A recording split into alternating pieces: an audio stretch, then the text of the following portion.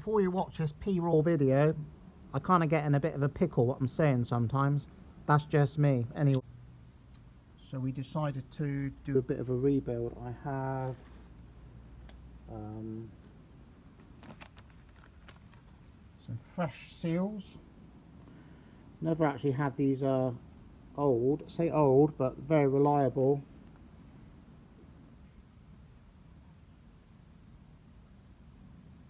Mono M4s apart before. They've been totally reliable.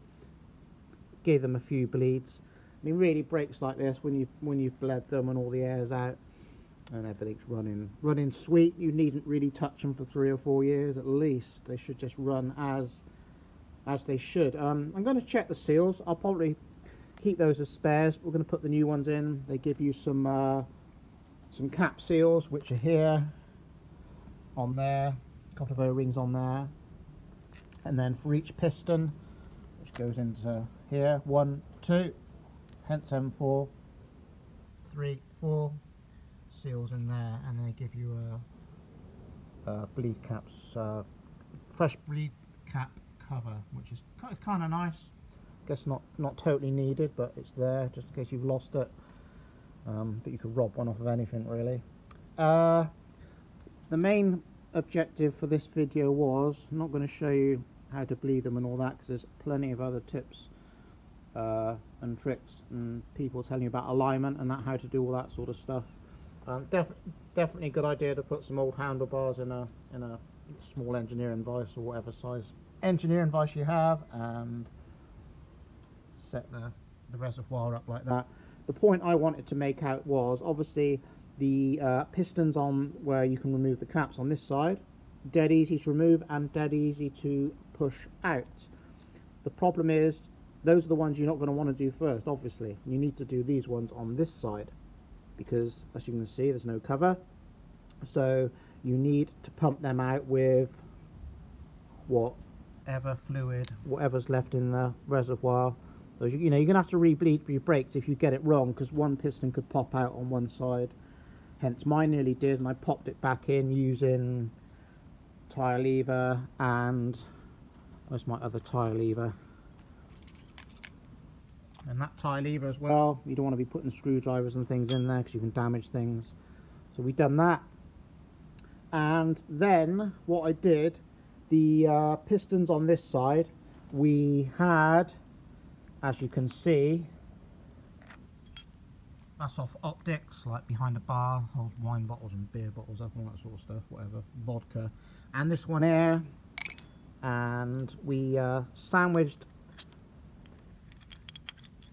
a flat plate in there on that side and those pistons will go down deeper into the caliper. So behind this plate here which I'm going to just let drop now like that we had these washers on top of those pistons so when I leap when I um compressed it off of the the fixing mount there as you can see it pushed them back down into the caliper so when you squeeze the lever to get these pistons out, it just gives you that little bit extra. I was quite violent with it as far as pumping that lever. You know, you really need to get it up in there. And you, you kind of only get one chance with it. Again, if you if you pop only one out and you can't get this one out, um, you just say you don't want to be like trying to lever it out and that. You're just going to have to refill the the system really and try it again. But for something that's going to last a long time, it's all good from the DIYer point of view or however a mechanic does it in a shop everyone kind of messes up and you just got to get them out which we have so there you go P-Raw wins we've got them out um, but yeah you need to be careful. I'll just uh, I got some other bits of flat metal on here and I have ready. But this tiny piece here was good as well. It's thinner. As you can see than that one just gives you that extra millimeter more to push down those um, pistons which is important. And whilst we're doing this actually let's just see if I can I should be able to. They're not hard at all. I need to push them out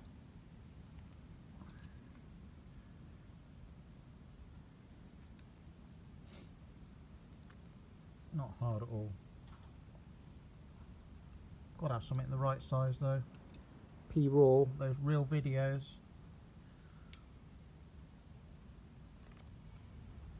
What we're going to use? Hold up. Right, we cut it, but we're not cutting the other bit. We're going to keep these videos real. Something like that. Just push them out.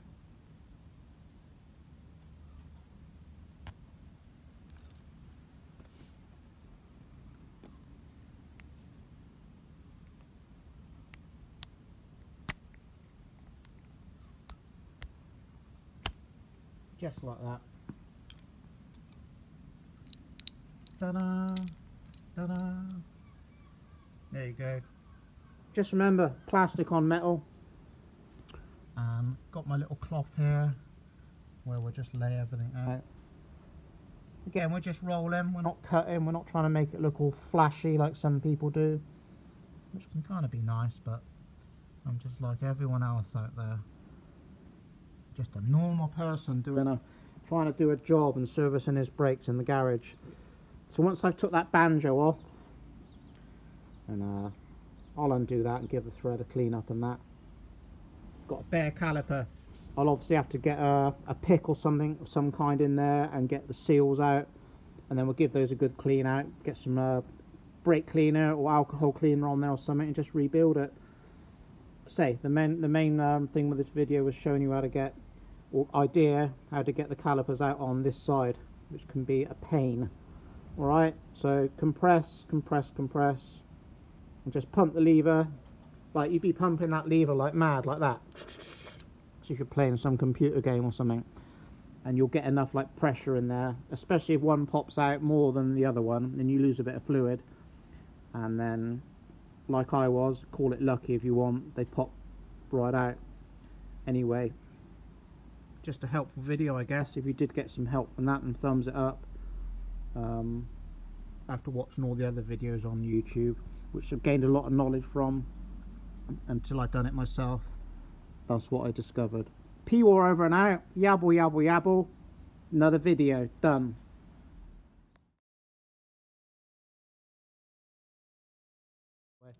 just wanted to say I didn't include these in the video which are to remove the piston caps, alright?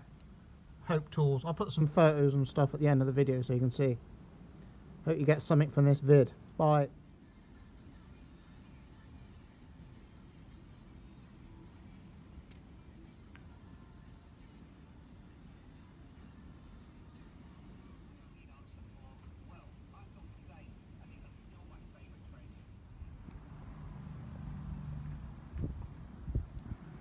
bonus footage. Always like to bring them bonus footage.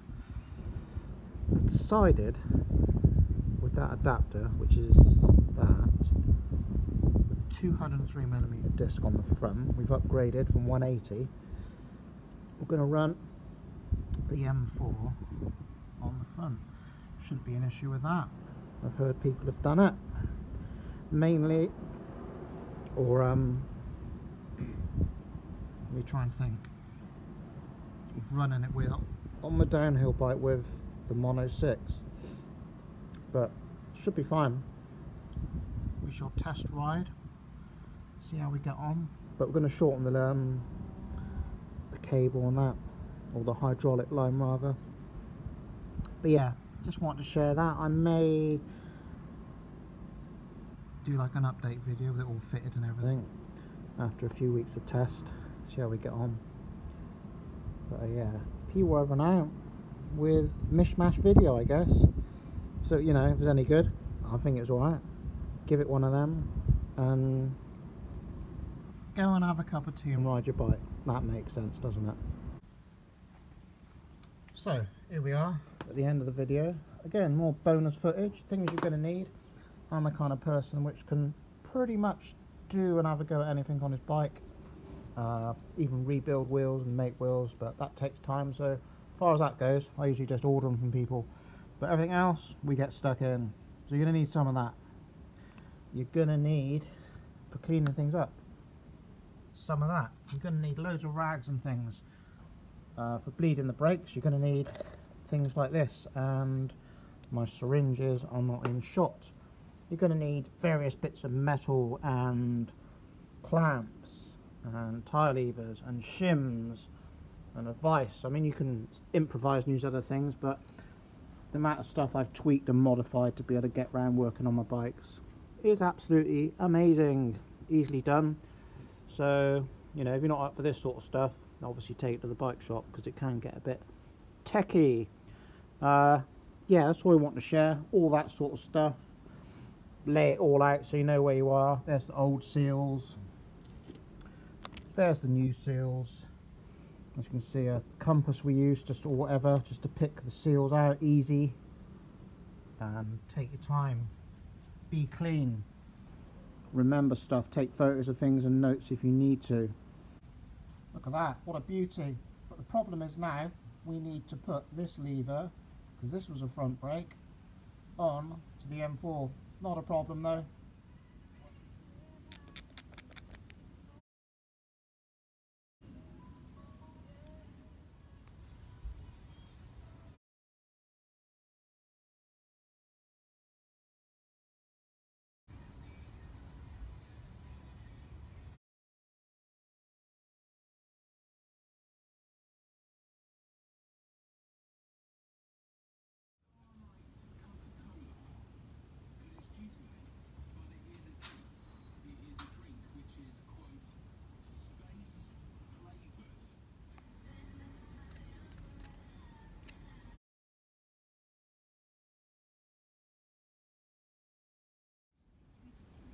Right, on the ball side, the easiest way I found to put the seals back in after them, covering them in Hunter's silicone is to put a piece of alley on the back, which I use to press the pistons in and around and all that.